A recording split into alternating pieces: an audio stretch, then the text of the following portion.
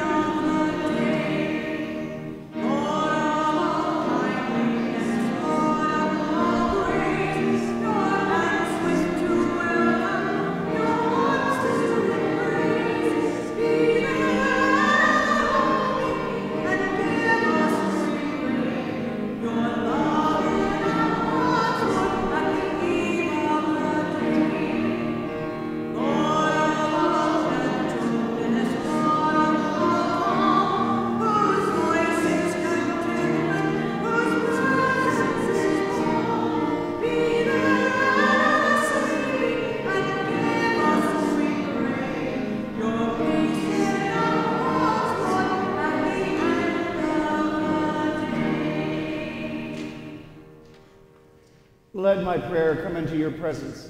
Incline your ear to my cry for help, O Lord.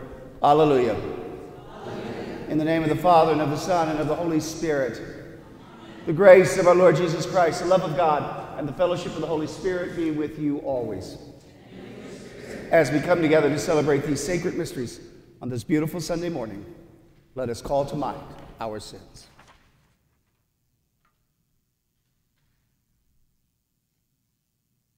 Lord Jesus, you came to call sinners. Lord, have mercy. Christ Jesus, you heal the contrite. Christ, have mercy. Lord Jesus, you intercede for us at the right hand of the Father. Lord, have mercy. May Almighty God have mercy on us, forgive us our sins, and bring us to life everlasting.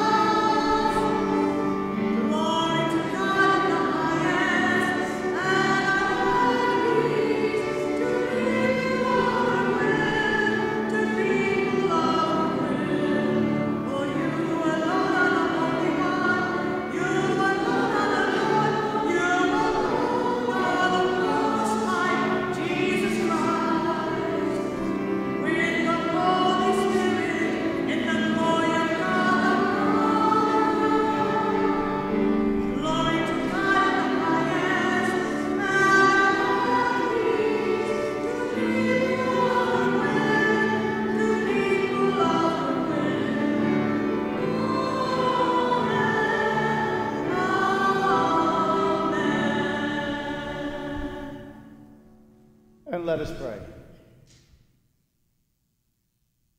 Almighty, merciful God, graciously keep from us all adversity, so that unhindered in mind and body alike, we may pursue in freedom of heart the things that are yours. Through our Lord Jesus Christ, your Son, who lives and reigns with you in the unity of the Holy Spirit, one God forever and ever.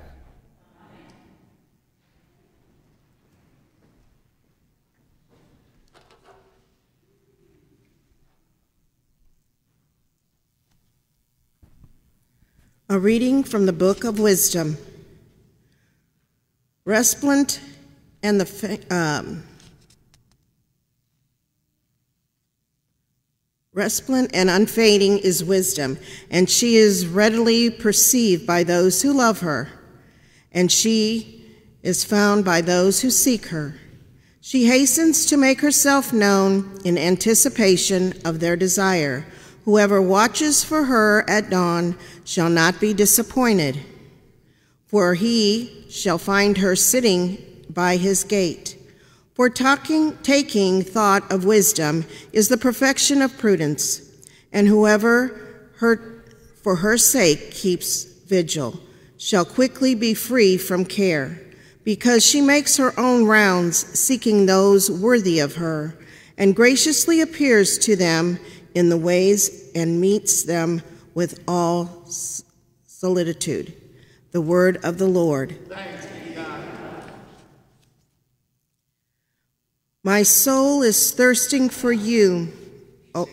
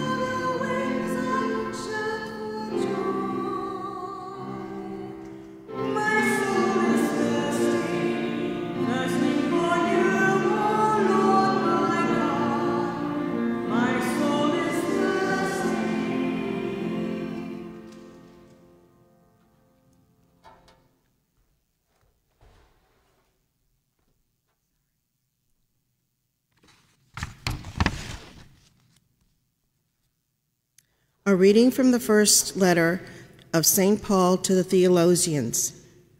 We do not want you to be unaware, brothers and sisters, about those who have fallen asleep, so that you may not grieve like the rest who have no hope. For if we believe that Jesus died and rose, so too will God through Jesus bring with them those who have fallen asleep. Indeed, we tell you this on the word of the Lord, that we who are alive, who are left until the coming of the Lord, will surely not precede those who have fallen asleep.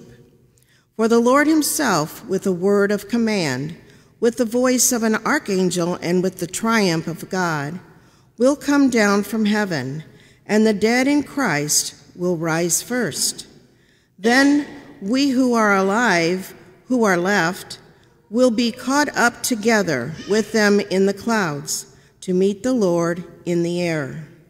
Thus we shall always be with the Lord. Therefore, Console one another with these words. The word of the Lord. Thanks. The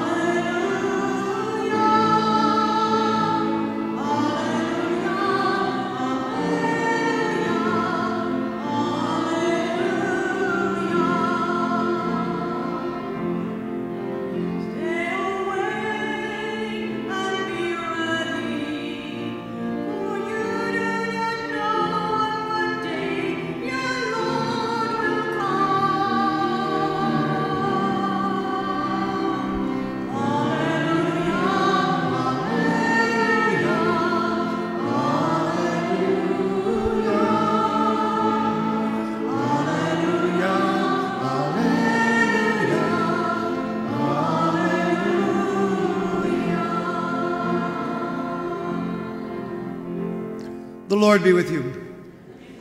A reading from the Holy Gospel according to Matthew. Jesus told his disciples this parable The kingdom of heaven will be like ten virgins who took their lamps and went out to meet the bridegroom. Five of them were foolish, and five were wise. The foolish ones, when taking their lamps, brought no oil with them, but the wise brought flasks of oil with their lamps. Since the bridegroom was long delayed, they all became drowsy and fell asleep. At midnight there was a cry Behold, the bridegroom! Come out to meet him. Then all those virgins got up and trimmed their lamps. The foolish one said to the wise, Give us some of your oil, for our lamps are going out. But the wise ones replied, No, for there may not be enough for us and for you. Go instead to the merchants and buy some for yourselves. While they went off to buy it, the bridegroom came, and those who were ready went into the wedding feast with him. Then the door was locked. Afterwards, the other virgins came and said, Lord, Lord, open the door for us. But he said in reply, Amen, I say to you, I do not know you. Therefore, stay awake. You know neither the day nor the hour. The Gospel of the Lord.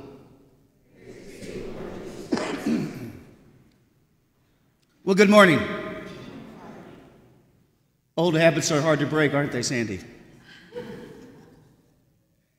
But today in our readings, we have, so to speak, an underlying theme of preparedness. Not preparedness for anything of this world, but preparedness for our journey to the next. And let's begin with our second reading from St. Paul to the Thessalonians. And in Thessalonica at that time, Paul had been preaching about the risen Christ and how he was going to return and to take those disciples of his with him. And yet something happened. Time began to pass. And year after year, month after month, there was no Jesus coming back. And the Thessalonians thought either that they had done something wrong, or perhaps they weren't destined for heaven, that they had been once again cut off.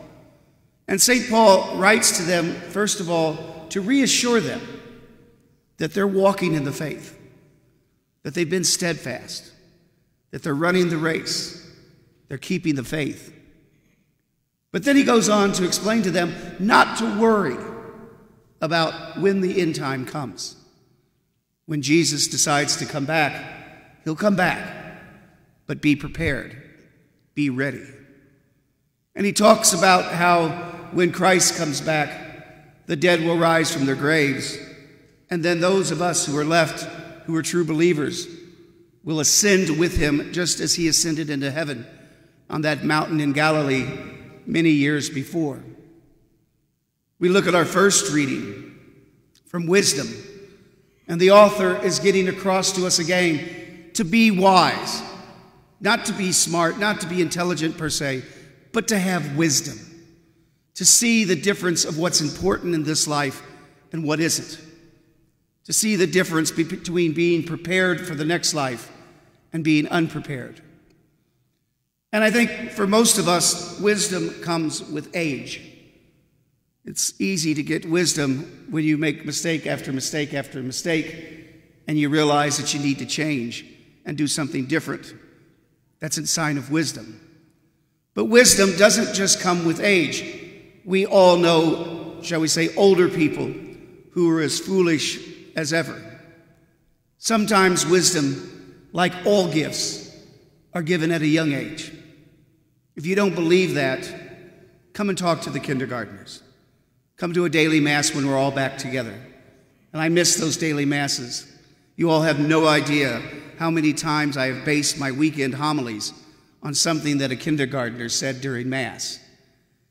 They have this innocent insight into things that we adults miss because we are filled with all this minutia that distracts us. Again, wisdom is having clear vision. And then we get to our gospel today, and again, Jesus is telling his disciples a parable. And I don't know about any of you all, but a few times when I've read this, I automatically go to the Christian ethos. What's wrong with the wise virgins? They had extra oil. As Christians, they should have shared it. But that's not the point of this parable. Jesus isn't getting the cross, getting, isn't getting across the idea of giving to others as you would have them give unto you. He's getting across the message that time is short, that our life on this world is but a blink of an eye, and that we need to be prepared for the life to come. And so he talks about these virgins with these lamps. And these aren't torches, these are just little lamps, processional lamps that the Jewish people would have had for ceremonies like weddings. And here they are. They've all come with their lamps. And then something happens. The bridegroom, let's say Christ himself, is delayed in arriving. And they begin to get sleepy and drowsy. In other words, a sign that they might begin to fall into bad habits, that they might begin to sin. But those virgins that came prepared were ready. The foolish virgins were not. And in the end, the foolish virgins are cast out into the darkness where there will be wailing and grinding of teeth, where the wise ones who were prepared get to go to the banquet of heaven. And I think, again, that sleepiness, that drowsiness that Christ talks about is an allegory of our own lives that we have good intentions. That I think most of us get up in the day and we think, well, I'm going to live a Christian life. I'm going to live like Christ has called me to live by loving, our, by loving my God and loving our neighbors. But eventually, somewhere along the line, we get sleepy and drowsy. We, get, we begin to fall back into our old habits. and begin to sin and begin to fall away from Christ. But Christ, through his church, gives us that wonderful sacrament of reconciliation, which always, always gives us, so to speak, quote unquote, extra oil for the, for the journey. And as we confess our sins, we are washed clean, and we are washed in the blood of Christ, and we become new once again. Because ultimately, the question for all of us today is Am I prepared? Because Jesus again tells us we don't know the hour or the day or the time. God forbid if Christ showed up today on our doorstep and knocked on our door and asked us, no, didn't ask, said, it's time to go. Would we be prepared? Would I be prepared? And I hope that our answer would be yes. But if it isn't, then let's be wise virgins. Let's use our time and our talent and our treasure to build the kingdom of God. Because ultimately, when Christ comes again, it isn't about who we are, it isn't about how much we have, it isn't about where we live, or where we work, or where we went to school. It isn't about any of those things. It's about what we've done. Have you done to the least of my brothers and sisters what I did for you? Did you serve them? Did you love them? Did you show them compassion? and mercy?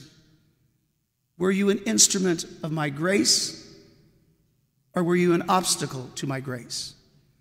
Did you open your hearts and your arms to strangers? Were you welcoming to those who are a little bit different? Because that's where our, our, our judgment will come. Again, not how many rosaries we do, though those are wonderful, don't get me wrong, but how much do we love?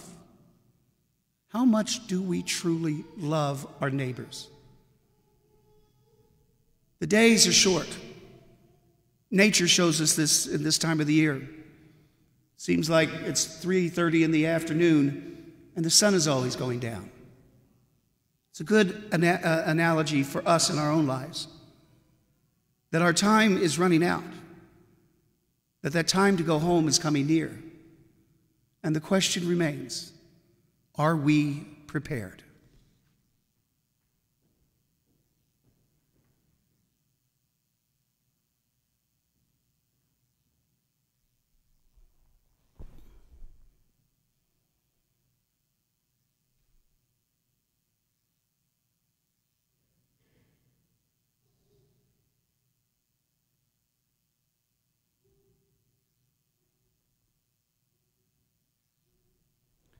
Please stand.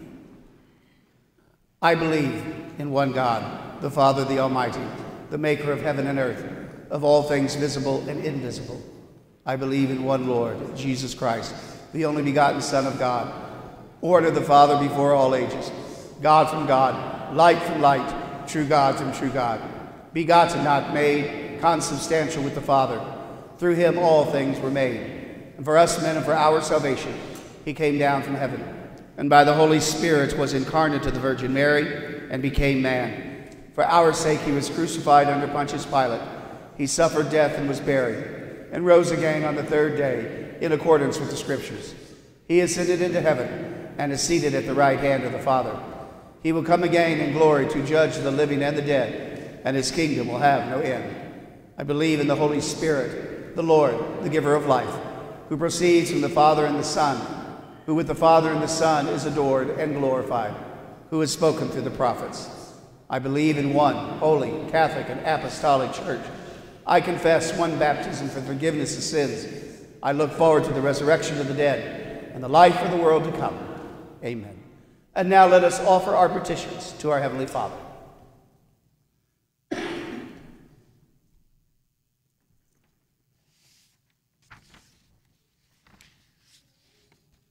For church leaders, may God grant them every grace as they serve his people. Let us pray to the Lord. Lord, hear our prayer. For public leaders, may the Lord bless them with prudence in their decision making Let us pray to the Lord. Lord, hear our prayer. For those who cannot find work, may God provide their need and make a way for them to share their gifts with others. Let us pray to the Lord. Lord, hear our prayer. For this faith community, may Christ's light direct our ways and shine through us as we bring his word to all we meet. Let us pray to the Lord. Lord, hear our prayer. For all those who have died, may the Lord bring them into the eternal joy of his heavenly kingdom. Let us pray to the Lord. Lord, hear our prayer.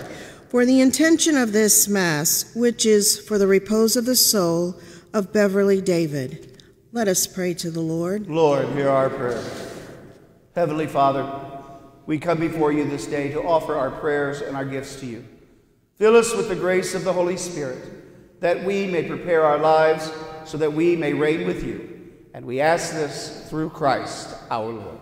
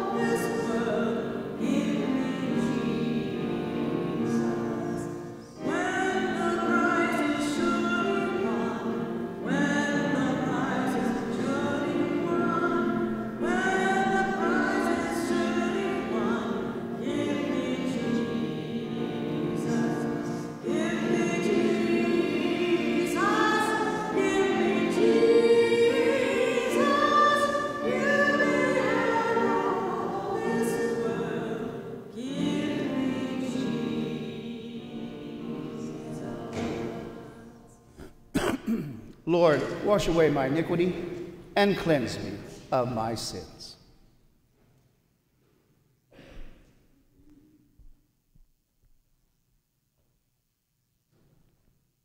Pray, my brothers and sisters, that our sacrifice may be acceptable to God, the Almighty Father.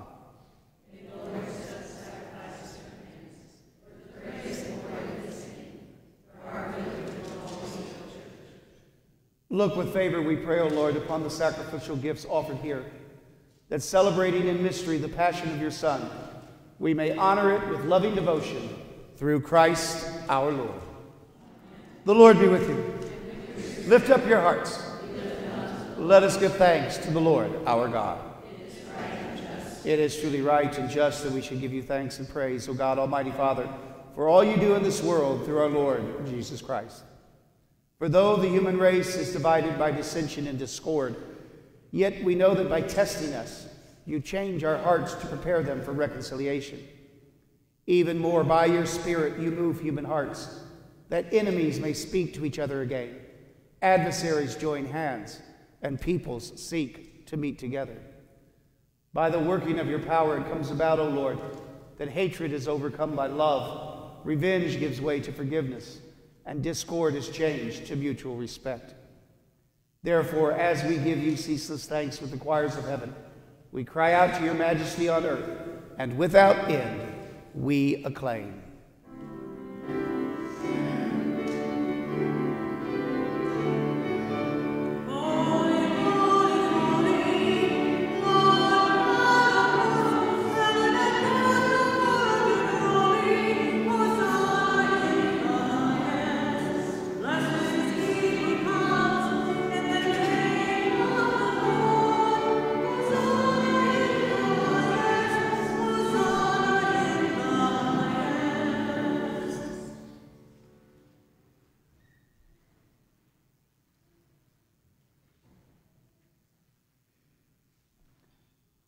Therefore, Almighty Father, we bless through Jesus Christ, your Son, who comes in your name.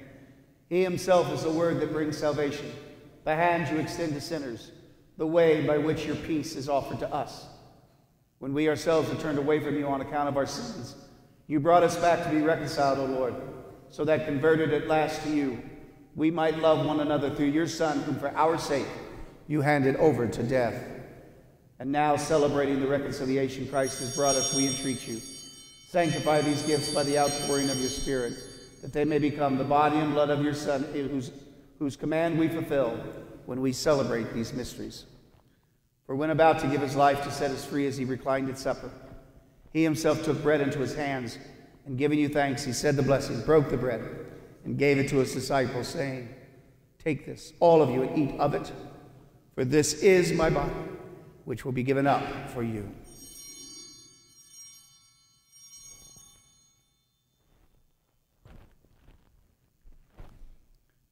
In a similar way, on that same evening, he took the chalice of blessing in his hands, confessing your mercy, and gave the chalice to his disciples, saying, Take this, all of you, and drink from it. For this is the chalice of my blood, the blood of the new and eternal covenant, which will be poured out for you and for many for the forgiveness of sins. Do this in memory of me.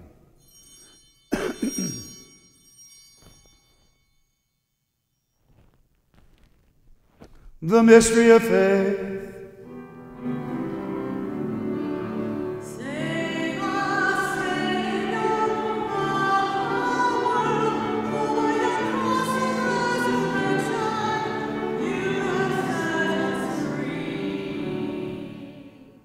Celebrating, therefore, the memorial of the death and resurrection of your Son, who left us this pledge of his love, we offer what you have bestowed upon us, the sacrifice of perfect reconciliation. Holy Father, we humbly beseech you to accept us also together with your Son, and in this saving banquet, graciously to endow us with his very Spirit, who takes away everything that estranges us from one another. May he make your church a sign of unity and an instrument of your peace among all people. And may he keep us in communion with Francis, our Pope, and Shawn, our Bishop, and all the bishops and your entire people.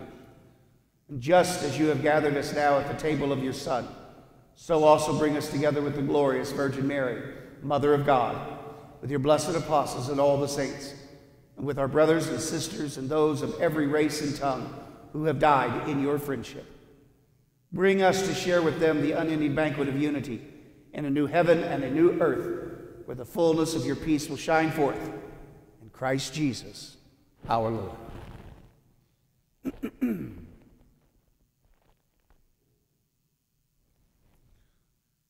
Through him, with him, in him, O God Almighty Father, in the unity of the Holy Spirit, all glory and honor is yours forever and ever.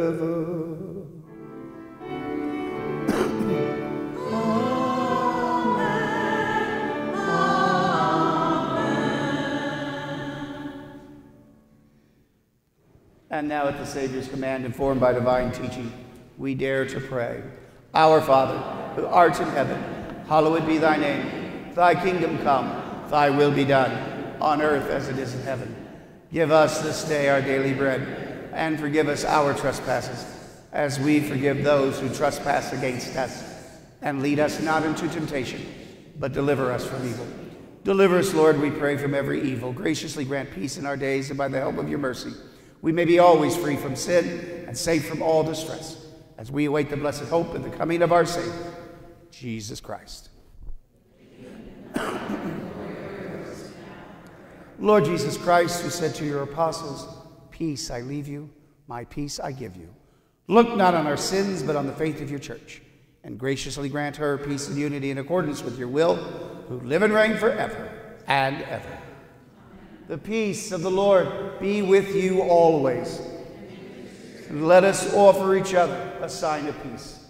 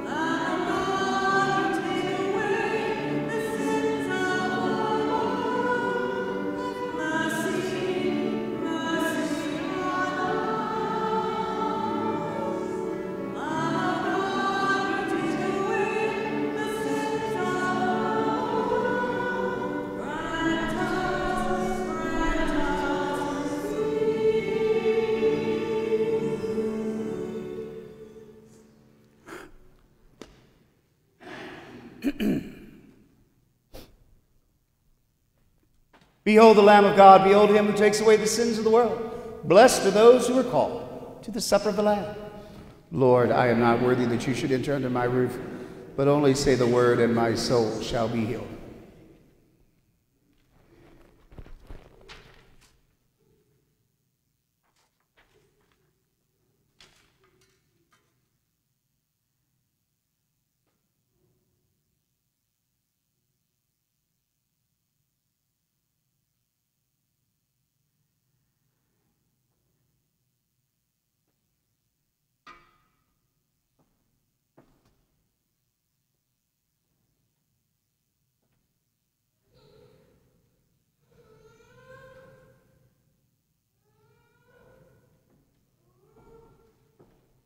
The disciples recognized the Lord Jesus in the breaking of bread.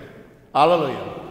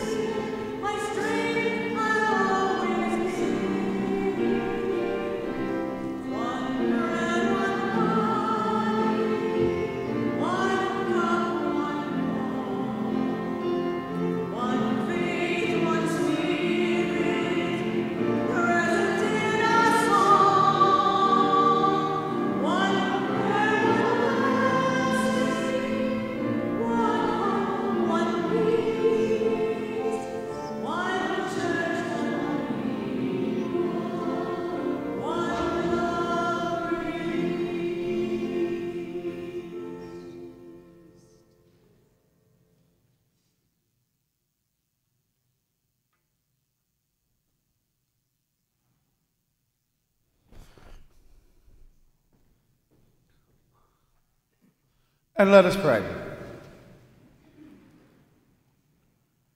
Nourished by this sacred gift, O Lord, we give you thanks and beseech your divine mercy that by the pouring forth of your Spirit, the grace of integrity may endure in those your heavenly power has entered through Christ our Lord. Why don't you all be seated for just a second?